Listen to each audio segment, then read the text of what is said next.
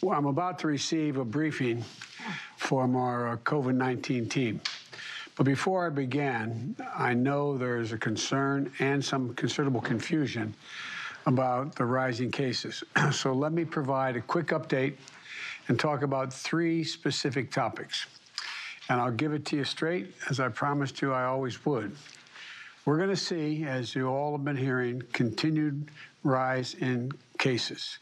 Omicron is very transmissible, transmissible variant, but much different than anything we've seen before.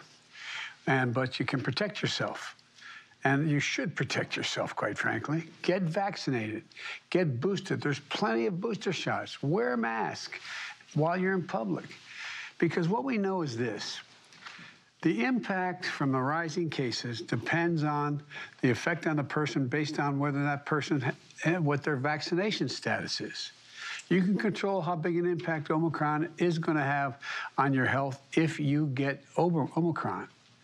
You know, they're, they're, those are fully vaccinated, especially those with the booster shots. And by the way, we have booster shots for the whole nation, okay? We, you can still get COVID, but it's highly unlikely, very unlikely that you become seriously ill. And we're seeing COVID 19 cases among vaccinated in workplaces across America, including here at the White House. But if you're vaccinated and boosted, you are highly protected. You know, be concerned about Omicron, but don't be alarmed. But if you're unvaccinated, you have some reason to be alarmed. Many of you will, uh, you know, uh, uh, you'll experience severe illness many cases if you get COVID 19, if you're not vaccinated.